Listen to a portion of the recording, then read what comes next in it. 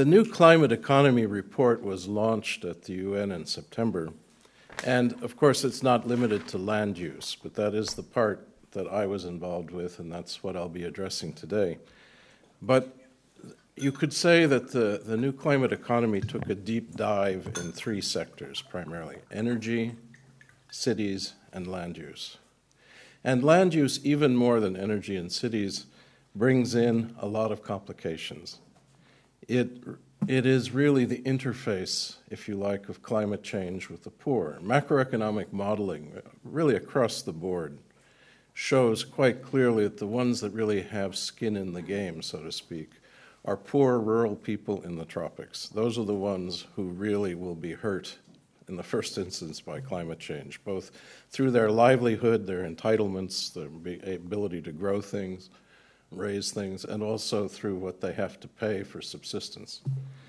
And one of the other aspects of land use that I think was surprising to my non land use colleagues in NCE, and I'll try to build this case, is that you can get fairly fast, immediate progress in climate mitigation through land use by actually doing what you need to do for resilience and for productivity. And you can, in fact, get a third of the way. I'll try to build this case realistically by 2030, a third of the way of where you'd have to be to get to a two degree pathway for, global warming. So that's, that's what I'm going to try to do, and we'll see if it works. Let me go straight to the inconvenient facts, as Tom says, just to set the stage and then, then get as quickly as possible to what we might do. One of the inconvenient facts is that agriculture is one of the big perpetrators in greenhouse gas emissions, really the, the motor of climate change. And uh, I have to tell you, I'm actually a livestock guy from Arizona originally. So I, I have to tell you, a third, you know, you've, agriculture is more important to greenhouse gas emissions even than cutting down forests. And environmentalists typically have always worried about rainforests in the tropics, as they should. But agriculture on a global scale is actually accounts for an even higher share, a share maybe about 13% agriculture alone of greenhouse gas emissions from all sources, which is on a par with transport. So, and of agriculture, really a lot of that comes. I mean, 30% of all agriculture and land use emissions, at least 30% comes from, from uh, livestock, and four fifths of that are ruminant related, and we'll come back to that. So, as one of the great ruminant producers and exporters of the world, actually a very efficient producer in terms of greenhouse gas emissions per kilo of beef, there's Ireland knows a lot about how you could have a huge impact on reducing greenhouse gas emissions simply through technological change in other countries. That uh, sort of gets the figures out there again. I don't want to dwell on them, but I'll come back to that. Oops, sorry. One of, one of the things that, uh, you know, I moved from the World Bank to an environmental institute where I proceeded to r- really raise the uh, mean age when I joined and also the mean body weight. and one thing I found about my environmental colleagues, who've been very, very uh, welcoming, is that everyone not only is focused on forests being cut down, but they're not terribly focused on why they're being cut down. And, you know, if you want to do something about something, you have to know why. Wood removals are projected to triple by the World Wildlife Fund, which is one of the few organizations actually sponsored modeling, you know, in-depth database modeling of this. And although that's a contested figure, it's in an upper bound. By volume terms, that's six times the projected rate of growth of cereals production, uh, consumption, I should say, by 2050. That's a huge increase. In the OECD, demand for wood products and pulp is going down. Everyone's using their iPad, they're not reading newspapers. but in places like China, where they're packing that iPad in a box, and where newspapers are going up in India and so forth, there's soaring demand. All the BRICS, all the emerging developing countries, huge growth in demand for wood. And that's not going away. This is one of the things that we have to understand the why to know what to do.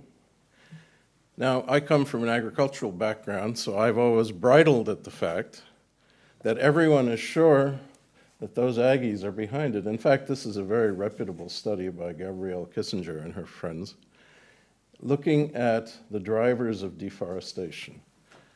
Now, one thing that the lay audience I didn't know before I got into this, but deforestation literally doesn't mean cutting trees. It means changing land use. Land that was forest becomes something else. And in fact, agriculture, both subsistence but primarily commercial, depending which part of the world you're in, is the primary driver of change in land use, which means that trees were there, they were cut, and then something else started happening there. We will see, though, that doesn't really get to the carbon loss and explaining the drivers of carbon loss. There's something else going on. Removal of trees, removal of biomass, however, these are the same authors. Again, Africa, Latin America, the primary reason the trees are cut down is to get logs and pulp, except in Africa, where the primary driver is still fuel wood, fuel wood or charcoal. And the issue is if you don't want people to cut trees down, you've got to address what are you going to do instead for the, for the use of those products. I'm not arguing for the use of paper, I'm just saying it's going to happen. Paper happens, it does happen. Got a hair trigger here. So, in the realm of inconvenient facts, before we get to solutions, let's look at reality. We're looking at 9.6 billion people, or thereabouts, by 2050, according to the UN. We have, we have potential demand for calories will go up faster than demand for cereals because you have diet change, and when you go over $2 a day, in 2005 purchasing power dollars, you start diversifying your diet, which is a good thing at that for most people.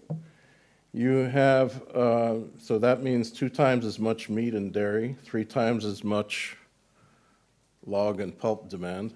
You've got, you've got a lot of new pressures on resources, and we don't have these resources. That is the problem. We always have some resources at the margin, but on the whole, things are getting tighter.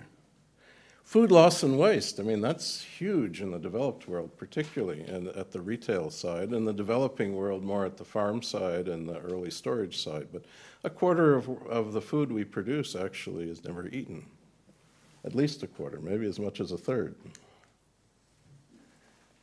This is a sorry picture from the, stomping toms in my old stomping grounds.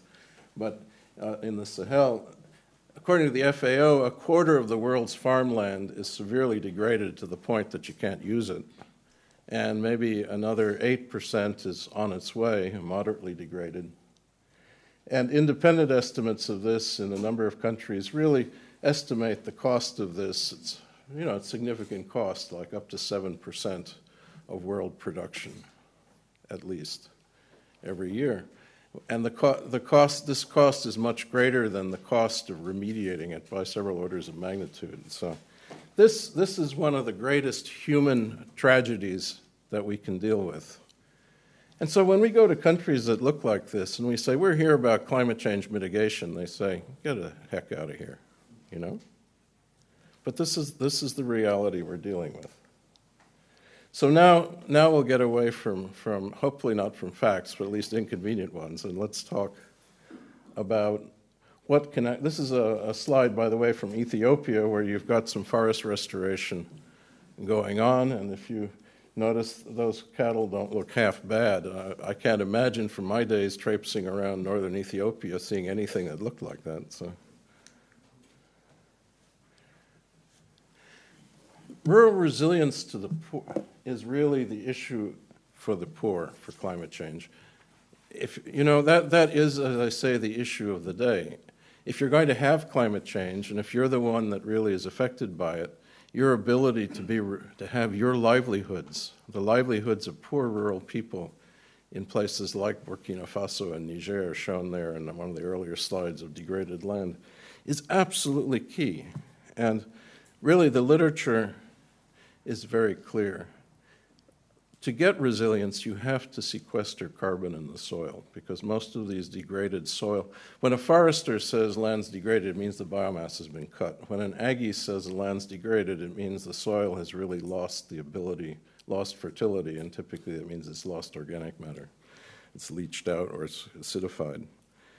And poor countries know this, but climate change in the whole domain of climate finance, for a variety of complicated reasons, adaptation is always the poor cousin.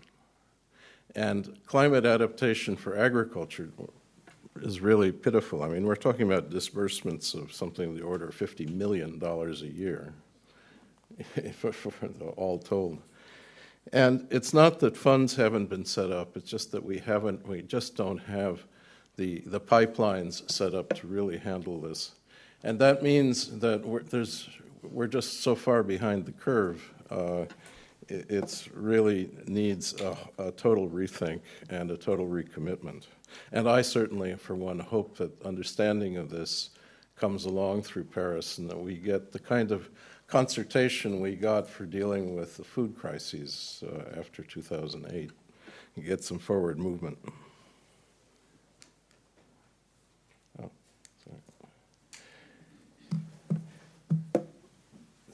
To really move forward in developing countries with whether, whether you you want to save forests, whether you want to protect the livelihoods of the poor, it all comes down to really establishing the productive landscape and supporting it.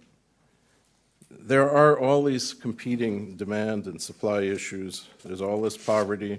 There's all these other concerns. But at the end of the day, you keep on coming back to the three aspects of climate smart agriculture or climate smart forestry. Basically, productivity, resilience, and as sort of a byproduct almost, mitigation. Those three go together. And one of the problems of land use compared to the other sectors is there's tremendous skepticism by the main stakeholders that, in fact, the three go together. People think, yes, productivity, we want it.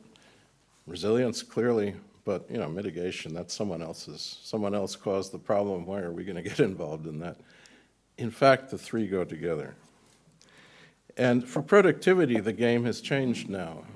Compared to the Green Revolution era, where you were basically picking the low hanging fruit, so to speak, by taking dwarfing varieties of the main cereals so that they wouldn't lodge in the tropics and so they could use fertilizer better and water better.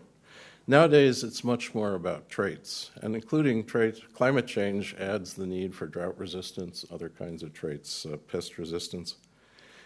You have to use all the, the, tools in your box to speed things up, including marker assisted selection, which is not transgenic, it's conventional breeding, but it just makes it happen a lot faster.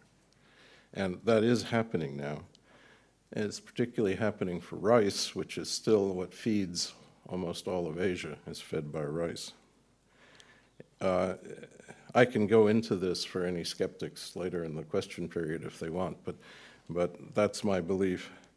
Ruminant and related emissions are more than 6% of global greenhouse gases, and they can be cut by about half, according to FAO estimates. And we know how to do it. We know the kinds of pasture improvements that do it, grazing. Now, if any farmers here are there any farmers here? A farmer would say, okay, but who's going to pay me to do that? If I've got to spend money, I'm not getting any premium for doing it your way or the other way or whatever. And that's, that's a reason, that's actually not entirely true because if you're being more productive, some of, some of this, according to FAO estimates, will pay for itself. But by and large, if you're talking about Indian dairy or so forth, uh, you know, that's a, it's a valid question. And you know, we spend 600 more than 600 billion a year in fossil fuel subsidies, primarily in develop, developing countries. That, that's a lot of money. And as the fossil fuel prices happen to be low right now, there should be a discussion of if you're going to subsidize stuff, what you're subsidizing, what you're trying to achieve with that kind of fiscal incentive. for the livestock guys, these are the FAO figures. The figures you see are the kilos of, of greenhouse gas and, and CO2 equivalents per kilo of beef produced by region. Ireland's one of the one of the stars here. Low low amount of emissions per kilo because you're very efficient beef producers and you have very good pastures and so forth. But there's a tremendous amount, and if you if you could apply even even marginal changes in the rest of the world where the livestock industry is rapidly shifting, you would have tremendous savings of greenhouse gas. And and and where the the the good producers have an awful lot to offer to the less good producers. And particularly, uh, although Ireland is a great exporter, believe me, livestock industries are going to be growing elsewhere. Particularly, dairy will be growing elsewhere. And there's, there's a tremendous benefit for Ireland being more involved in that process. Governance and te- we're in a new world of technology. Brazil has really done marvels at stopping deforestation on larger plots simply because starting in 2004, the Brazilian government decided that the advantages of stopping illegal logging in the Amazon were much better than, the, than just not doing it. And with the uh, satellite overhead pictures being freely available, the Brazilians set up a shed with 150 analysts in it, and they got the the monthly satellite overpass things from the from the U.S. and they examined them by 150 analysts every month, and they could see where deforestation was occurring. It went to the police. Police sent out helicopters. They stopped it. And in Brazil, there was a tremendous decrease, about three quarters, in deforestation at least on larger plots. At least it's, maybe it's shifting to smaller plots the satellites couldn't see. But now the satellites can see down to six hectares resolution. In fact, they can see down to a meter if you're talking about military satellites, but the, the commonly available ones, uh, six hectares. And if you go, and this is a, a plug for my own institute, which houses a thing called Global Forest Watch, at globalforestwatch.org, anybody can sign up for an alert in, in every 16 days for deforestation on any plot of six hectares or smaller. So that means that Wilmar, which handles 40% of the trade, world trade in palm oil, can actually check up on its suppliers. And it means that if civil society wants to hold companies responsible, they can do it, and the companies can make commitments because they can enforce them, and that's what they're doing. That's what Unilever is doing. That's what Wilmar is doing. Others, they can actually they can actually make sure they don't get embarrassed. So technology, the technology of transparency is going up, and that gives a lot of hope for dealing with the governance issues in land use that we're producing things like illegal deforestation. Why are you going to do things sustainably if you can do them for free on public land and do it unsustainably?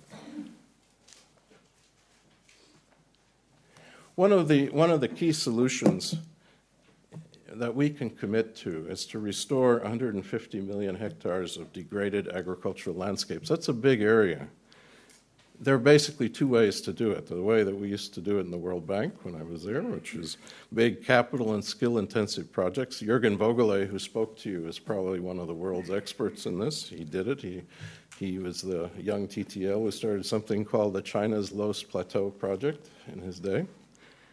And at the very most, you could get a million hectares a year from this. So it's capital intensive, skill intensive. Or you can go a different route, which I'll talk farmer managed natural regeneration, which I'll talk about in a moment. This is the Loess Plateau in 1990 and now, more or less now. You see, it can be done. It's absolutely amazing. You get the triple wins, they're measured. There's, there's really. One of the things people don't know about this, by the way, is that it was a livestock project. And that's where you get real gains in this business, is where you associate there's something in it for the farmer. These people here had goats, which produced that, but they couldn't, they couldn't make any money, really, and they could barely survive. They were going to have to leave the land altogether. Now, what they, they don't have goats anymore because they're prohibited. They had to be confined, but they have confined dairy and they have uh, confined Kashmiri sheep in there in the wool business. And they're doing quite well, and their incomes went up. Economic rates of return were quite high for this project, even with all the capital intensity. So it shows that when you get your act together, everybody can be better off. In Latin America, you had silvopastoral systems, which in Central America, I should say, which again, it's raising cattle in forests. It's actually a very capital intensive uh, venture from the farmer's standpoint. It's not something that just happens by itself. But as once, once the system is put in place, again, there's something in it. You've, you've internalized the value of ecosystem services from that forest, and you're getting a good chunk of that back in the farmer's pocket. And so people comply, and it actually works, and everyone's better off.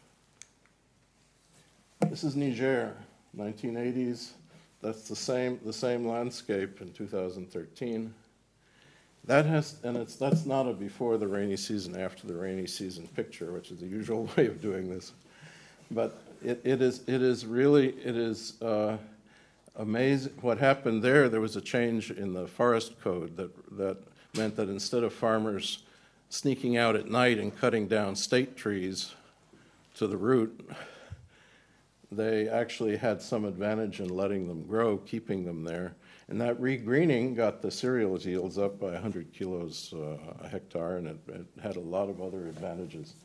Now, you need to put a lot of acreage under that to get any real impact uh, at scale for climate mitigation, but you can do this on hundreds of millions of hectares.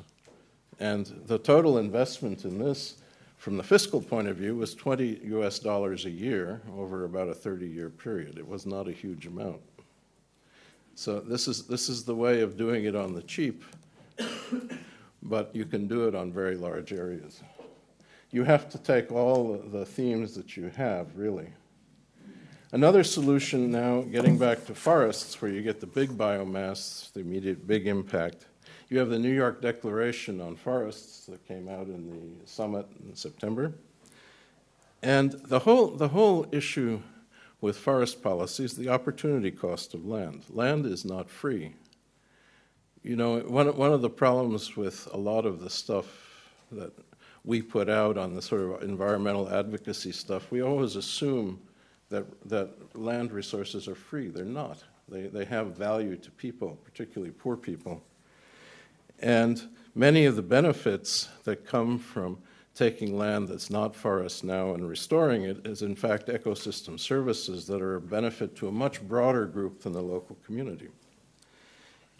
To make something like the New York Declaration work, it has to really be a mix of agroforestry, a mix of mosaic, that is, you reforest the degraded upper slopes so that you have water, better water retention for low down. And it has to be, there is a component of full forest. It can be done. Oops. I'm ending up now. I want to. This is what I wanted to to really get across. This this uh, I'm getting the negative influence of McKinsey. You see in my slides, it's sort of beginning to, to creep in. But really, the the three things on the left is where you get you get the big impact this is to 2030. Those are gigatons of CO2e. That is a measure, if you like, of greenhouse gas mitigation. And you have lots of things from agriculture, from food waste prevention, and things that make a difference. But those, that's, those are feasible ranges from cutting down on, on uh, illegal logging forest restoration, agricultural land restoration. These are things we know how to do, they can do. We just have to do them, and they pay for themselves mostly. And though, here's from the NCE main report. These are the, that's the same information in, inside the red circle you saw detailed in the previous slide. You'll see how land use stacks up relative to all the other things you can do in this globe to go from the 68 gigatons baseline, which is projected what you will have, it's not what we have now, but what we'll have under business as usual by 2030, To get it down to what you need, the red line is what is projected for a two-degree pathway by 2030. And you see that land use really has to be part of the solution. Land use interventions are between 15 and 35 percent of the mitigation you need. There's no way to just sort of say, well, we're going to talk about something else, or we'll kick the can down the road. You simply cannot reach a two-degree path now without a greater push on land use. You may still not reach it, but, but there's no way to reach it if you don't have a big push on land use. And if you've got the you've got most of the land in the world in developing countries that say it's not our problem for our agriculture, why should we, why should we sacrifice productivity and resilience to worry about your problem here climate change?